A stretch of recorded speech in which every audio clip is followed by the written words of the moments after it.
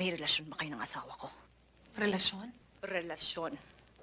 Querida Kabet number two, mistress, relasyon. Terry! Wag mo akong ma-Terry-Terry!